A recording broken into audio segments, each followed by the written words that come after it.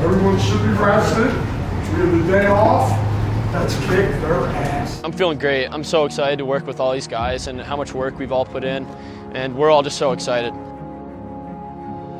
Just another win will help us stay on the right foot for a big rivalry game Wednesday. We should have a little edge. You know, after the way that third quarter went. Edge to just be what we are.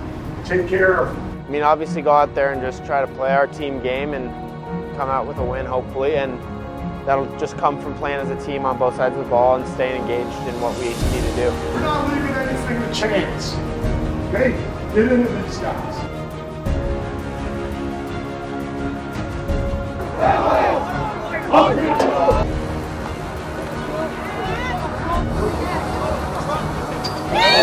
Same as any other win, just take it day by day. I'm feeling great. I'm so excited to work with all these guys and how much work we've all put in, and we're all just so excited.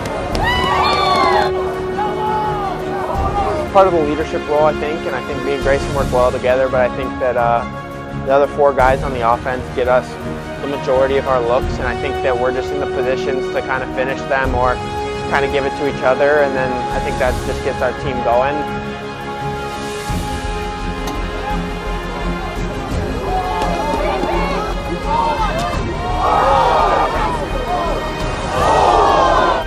Really cool to finish out our senior year. All these guys have put in a lot of work. It'd be really good to finish out as strong as we can. Everyone here wants to win the league, and ultimately one of our goals, and we're going to find a way to achieve it.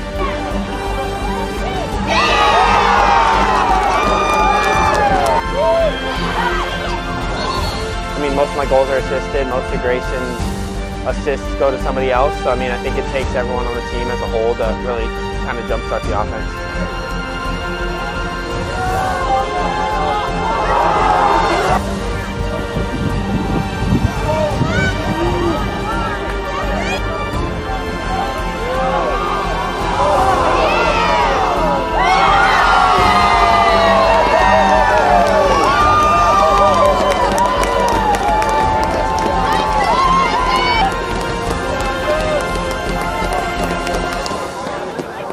Like I said, all these seniors have put in a lot of work, and we've just got a great team, and this is our year to do it.